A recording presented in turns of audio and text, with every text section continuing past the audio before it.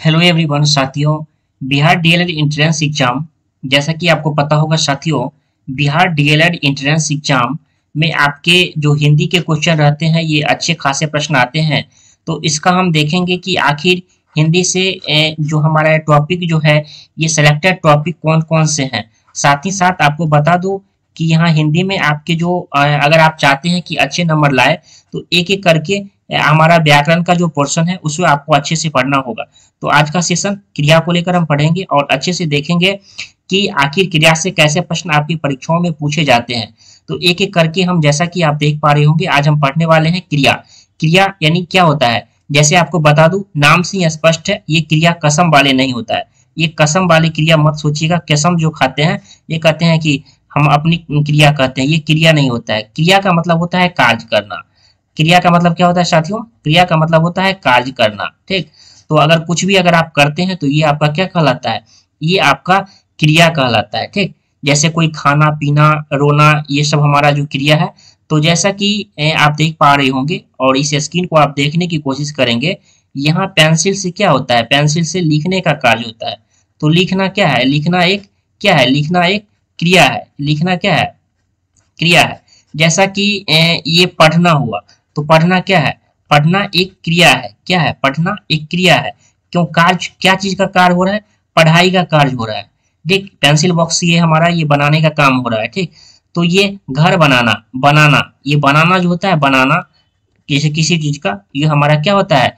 जैसे कार्य करना तो लिखना लिखना, पढ़ना पढ़ना, सोना, ये सभी क्या हो रहा है? सोना क्रिया हो रहा है, काम हो रहा है, सोने का काम हो रहा है। तो ये सम, सभी हमारा क्रिया कहलाता है जिसे हम इंग्लिश में आप पढ़ते होंगे भर्व ठीक तो ये पूरा सेशन क्रिया को लेकर होने वाला है। और क्रिया में कैसे एग्ज़ाम्पल आपके प्रश्न पूछे जाते हैं एक एक करके भी ये भी हम समझने की कोशिश करेंगे। साथ ही देखेंगे कि आखिर प्रश्न जो है ये किस तरह के पूछे जाते हैं। कभी देखा गया है कि आपके क्रिया जो चैप्टर है इसका सीधा आपसे पूछा जा सकता है कि इसका जिन शब्दों से यह पता चले कि कोई कार्य हो रहा है या किसी के द्वारा किया जा रहा है उसे क्रिया कहते हैं। यानी किसी काम को होने का बोध हो रहा है। साथ ही साथ जिसके किसी के द्वारा अगर किया जाता है तो यह क्रिया कहलाता है। जैसे खाना, जैसे नाचना, खेलना, पढ़ना, मारना, पीटना, सोना, ये सभी आपके क्या है? ये आपसे, आपका क्या है? भर्व है, जिसे आप क्या कहते हैं हिंदी में आपका क्रिया है। ठीक? काम हो रहा है, क्रिया। जैसे एग्ज़ाम्पल के तौर पर हम देखते हैं, जिसमें कहता है राम खेल रहा है। क्या राम क्या कर रहा है? खेलने का कार्य हमारा क्रिया हो रहा है। मीना नाच रही है। अली किताब पढ़ रहा है तो पढ़ना क्या है? क्रिया है। बाज़ार में बम फट गया। ठीक है तो फटना। बच्चा पलंग से गिरना गिरना। बा, बाहर बारिश हो रही है। क्या हो रही है? तो बारिश हो रही है होना। राधा नाच रही है तो नाचना। मुकेश कॉलेज जा रहे हैं तो जाना। ये सभी हमारा क्या है? ये सभी आपके क्रिया के उदाहरण है एग्ज़ाम्पल है। तो इसी तरह के आपके जो पूछा जा सकता है कि इनमें से कौन सा क्रिया है। तो आप इसे अच्छे से तो जवाब दे पाएँगे, लेकिन क्रिया के कुछ भेद होते हैं। तो ठीक तो उसको भी हम देखने की कोशिश करते हैं। जैसा कि आप देख पा रहे होंगे, जैसे आपका भी पूछा जा सकता है कि क्रिया के भेद कौन कौन होते हैं, और कर्म के आधार पे बात करता हूँ तो कर्म के आधार पे और कर्मक क्रिया और सकर्मक क्रिया। और रचना के आधार पे बात करूँ तो संयुक्त क्रिया नाम धातु क्रिया, पूर्वकालिक क्रिया, प्रेरणार्थक क्रिया। इस यहाँ से भी एग्ज़ाम्पल आपके परीक्षाओं में देखने को मिलेगा। एग्ज़ाम्पल से जो प्रश्न है, ये आपसे पूछे जा सकते हैं कि रचना के आधार पे संयुक्त क्रिया, नाम धातु क्रिया, पूर्वकालिक क्रिया, प्रणर्थक क्रिया। ये सभी का जो बेसिकली पूछा जाता है, ये उदाहरण के रूप में पूछा जाता है कि ये प्रेरणार्थक क्रिया का कोई दे देंगे और बताएँगे कि आपको यह कौन सा क्रिया होगा। यानी फॉर एग्ज़ाम्पल के तौर पर आपके परीक्षाओं में पूछा जा सकता है। तो कभी ये भी पूछा था, कर्म के आधार पर कितने? कर्म के आधार पर दो, और रचना के आधार एक, दो, तीन, चार हमारा ये हो गया चार। यानी रचना के आधार पर ये और कर्म के आधार पर ये हो गया। ठीक, अब हम एक एक करके पढ़ते हैं कि कर्म के आधार पर जैसा कि आपने देखा कि कर्म के आधार पे आपका सकर्मक और अकर्मक होता है तो हम देखते हैं कि सकर्मक क्रिया क्या होता है। सकर्मक का मतलब क्या होता है? नाम से ही स्पष्ट है सकर्मक। सकर्मक, देखिए, स मतलब होता है सात। स का मतलब होता है? स मतलब सात होता है। कर्म। यानी जिसमें कर्म लगा हो, स्वकर्मक का मतलब होता है कर्म के साथ। ठीक? जैसे ये हमारा स्वकर्मक। तो स्व मतलब होता है साथ। स्व मतलब क्या होता है? स्व मतलब आपका साथ होता है। यानी जिसमें कर्म के साथ हो, अर्थात जिस क्रिया का प्रभाव कर्ता पर न पड़कर, क्या, किस पर पड़ता है? कर्म पर पड़ता है, उसे सकर्मक कहते हैं। तभी ये पूछा जा सकता है कि कि जिस क्रिया का प्रभाव कर्ता पर न पड़कर, कर्म पर पड़ता उसे क्या कहते हैं?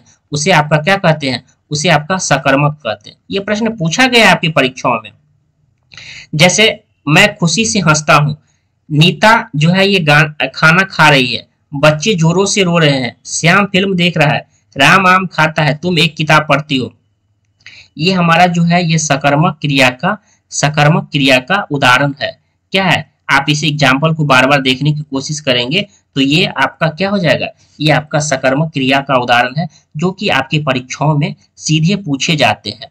अब हम अकर्मक क्रिया के कुछ उदाहरण, जैसा कि आप स्क्रीन पर देख पा रहे होंगे, जिसमें हम अकर्मक क्रिया की परिभाषा को लेकर पढ़ेंगे।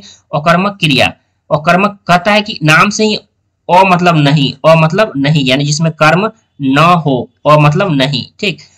का मतलब कर्म के बिना, जिसमें कर्म क्या हो? नहीं हो। जिन क्रियाओं के कर्म की ज़रूरत नहीं पड़ती है, जो जो प्रश्न पूछने पर कोई उत्तर नहीं देता है, उसे हम अकर्मक कहते हैं। आपको परिभाषा भी याद रखना होगा, परिभाषा। परिभाषा, क्योंकि आपकी परीक्षाओं में कभी यही परिभाषा पूछ देगा और एग्ज़ाम्पल में दे देगा कि यह सकर्मक है कि अकर्मक है तो आपको फंसना नहीं है, ठीक?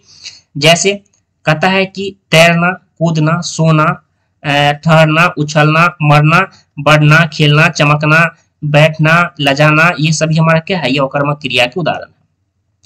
जैसे वो जगता है, क्या जगता है? वो कूदता है, सोना चमकता है, बच्चा हंस रहा है, चूहे उछल रहा है, मेरा भाई सो रहा है। कहता है कि इसमें कर्म नहीं होगा। यानी कर्म जो है इसमें, कर्म जो है ये आपका नहीं होगा। कर्म किसमें रहता है? कर्म रहता है स्वकर्मक, नाम से ही है। क्या? जिसमें कर्म साथ हो। तो ये अकर्मक की बात हो रही है, जिसमें मतलब कर्म नहीं होता है। अब आपका अगला है संयुक्त क्रिया। नाम से ही स्पष्ट है, संयुक्त जोड़ने की बात हो रही है। जो क्रियाएँ दो या दो से अधिक धातुओं से मिलकर बनी होती है उसे संयुक्त क्रिया कहती है। जैसे मैंने खाना खा लिया, खाना खा लिया। तुम घर चले जाओ। मीरा स्कूल चली गई। वह खाना खा चुका है। मीरा जो है, ये महाभारत पढ़ने लगी। प्रियंका ने दूध पी ली है। मोहन नाचने लगा। और राम जो है, ये विद्यालय से लौट आया। ये सभी हमारा क्या है? ये हमारा संयुक्त क्रिया के उदाहरण है, यानी एग्ज़ाम्पल है, जिसे आप देख सकते हैं। एग्ज़ाम्पल क्या है? हमारा ये एग्ज़ाम्पल है। आपका ये क्या हो गया? ये आपका उदाहरण है, क्या? संयुक्त क्रिया को लेकर, जिसे आप एक बार देख सकते हैं। अब आपका आता है नाम धातु क्रिया। नाम धातु क्रिया भी आपकी परीक्षाओं में पूछा जाता है। सबसे ज़्यादा मैं लास्ट में बात करूँगा कि प्रेरणार्थक क्रिया, जो मैं आपको समझाऊँगा, सबसे ज़्यादा वही से पूछे जाता है। क्रिया को छोड़कर, संज्ञा, सर्वनाम तथा विशेषण से मिलकर बने संयुक्त क्रिया को नाम धातु क्रिया कहते हैं, ठीक? यह धातु के नाम से बने होते हैं, इसे नाम धातु कहते हैं। तो हाथ से हथियाना, अपना से अपनाना, लज्जा से लजाना, बात से बतियाना, शर्माना, दुख से दुखाना, चिकना से चिकनाना और लाठी से लठियाना। ये सभी हमारा क्या हो जाएगा?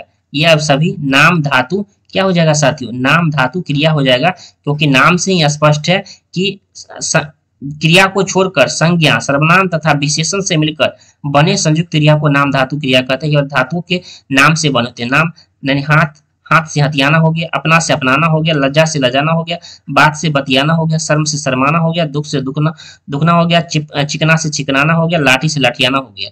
तो ये हमारा क्या है? ये सभी आपके नाम धातु क्रिया के एग्ज़ाम्पल है। आप समझ रहे हैं ना? देखिए, पूर्वकालिक क्रिया को आप सबसे ज़्यादा वीवीआई लगा लेंगे क्योंकि पूर्वकालिक क्रिया हो, या आपके परिणार्थक क्रिया हो, यहीं से प्रवेश परीक्षाओं में आपके प्रश्न बनते हैं। तो आप तरफ़ से कह सकते हैं कि क्वेश्चन जो है ना, क्वेश्चन यहीं से छपेगा, ठीक? क्वेश्चन यहीं से पूछा जाएगा आपके प्रवेश परीक्षाओं में। पूर्वकालिक क्रिया का उदाहरण, आपको उसकी परिभाषा और उदाहरण दोनों याद रखना होगा। जब कर्ता एक काम को समाप्त करके तुरंत दूसरे काम में लग जाता है, तब क्रिया पहले समाप्त हो चुकी है उसे पूर्वकालिक क्रिया कहते हैं। जैसे पुजारी जी ने नहाकर पूजा किया, क्या करके? नहाकर पूजा किया। चोर जो है ये सामान चुरा कर भाग गया। पहले चुरा कर फिर भाग गया। वह खाकर सो गया। खाना और सोना। विद्यार्थी ने पुस्तक से देख सर उत्तर दिया, ठीक, लड़कियाँ जो है, पुस्तक पढ़कर जाएगी। यानी पहले हो जाएगा पुस्तक पढ़ के और फिर तब जाना होगा। राखी ने अपने घर पहुंचकर फ़ोन किया। पहले एक हो गया पहुँचना, फिर हो गया फ़ोन करना। खिलाड़ी खेल कर बैठ गया। खेलना और फिर बैठ जाना। अनुज खाकर स्कूल गया। पहले खाना और तब स्कूल गया। कहने हैं कि पूर्वकालिक क्रिया के इस प्रकार आपके क्या होंगे? एग्ज़ाम्पल होंगे। प्रश्न जो है ये क्वेश्चन जो है साथियों मैं आपको बता दूँ। प्रश्न जो है इसी तरह के आपके एग्ज़ाम्पल दे देंगे। जैसे दे देगा चोर सामान चुरा भाग गया। यह कौन सी क्रिया है? क्या यह पूर्वकालिक क्रिया है? कि, कि नाम धातु क्रिया है? तो हमारा यह क्या हो जाएगा? यह आपका पूर्वकालिक क्रिया हो जाएगा ठीक? अब ये जो प्रेरणार्थक क्रिया है ये प्रेरणार्थक क्रिया आपके प्रवेश परीक्षाओं में सबसे ज़्यादा हॉट क्वेश्चन है।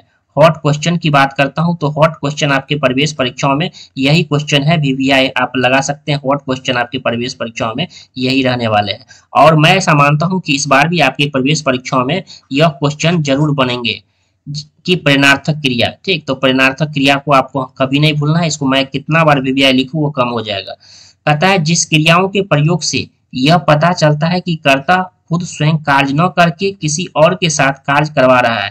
कहने का मतलब होता है, इसमें खुद काम न कर किसी और से करवाना होता है, उसे प्रेरणार्थक क्रिया कहलाते हैं। जैसे करवाना, कटवाना, पिलवाना, पढ़वाना, लिखवाना सुनाना या बोलवाना या हमारा कहते हैं पिलवाता है या पिलवाती है। मालिक नौकर से कार साफ़ करवाती है। मतलब कहने का मतलब है मालिक जो है, ये खुद काम न कर कर खुद काम न कर कर किससे करवाती है? नौकर से करवाती है। तो जो काम खुद न कहकर कर कर दूसरे से करवाती है उसे प्रेरणार्थक अध्यापक बच्चों से पाठ पढ़वाती है। अध्यापक खुद नहीं पढ़ती है बच्चों से पाठ पढ़वाती है। मैंने राधा से पत्र, लिखवाया। मैंने खुद नहीं लिखा मैंने खुद नहीं लिखा। किसे लिखवाया? राधा से लिखवाया। तुमने माली से सिंचाई करवाई यानी खुद नहीं करके माली से सिंचाई। राधा से कृष्ण ने बांसुरी बजवाया राधा ने खुद नहीं बजाया और कृष्ण से बजवाया। तुमने मुझे शिक्षक से पिटवाया। यानी तुम तो नहीं पीटा लेकिन किससे पिटवाया? टीचर से। ये हमारा प्रेरणार्थक क्रिया जो है साथियों, यहीं से आपके प्रवेश परीक्षाओं में जो है ये प्रेरणार्थक क्रिया से आपके प्रश्न जो है, ये एक दो प्रश्न जो पूछे जाएँगे, यहीं से प्रेरणार्थक क्रिया से पूछे जाएँगे। आप इसे हॉट वीवीआई क्वेश्चन लगा लीजिएगा। आप इसे बार बार प्रैक्टिस कीजिएगा। और मैं ऐसा मानता हूँ कि जब आपका एक सरकारी कॉलेज में जब आपका नामांकन लेना चाहेंगे ना तो आपको यही एक दो क्वेश्चन आपको सरकारी कॉलेज दिलाएगा। तो एक बात और बता देना चाहता हूँ साथियों जो लोग हमारे साथ, यानी आप चाह रहे हैं कि बिहार डीएलएड इंट्रेंस एग्ज़ाम की तैयारी करें तो जो लोग तैयारी करना चाहते हैं, बिहार डीएलएड इंट्रेंस एग्ज़ाम की नोट्स लेना चाहते हैं, बिहार डीएलएड का संपूर्ण नोट्स लेना चाहते हैं तो मैं आपको बता दूँ कि आपका ऑफ़र चल रहा है टू फोर नाइन में। टू फोर नाइन में कंप्लीट नोट्स जो कि कंप्लीट नोट्स ऑल सब्जेक्ट का है, जो लोग लेना चाहते हैं, नीचे डिस्क्रिप्शन में लिंक दिया गया है, आप इसे ज्वाइन कर सकते हैं, ठीक? धन्यवाद।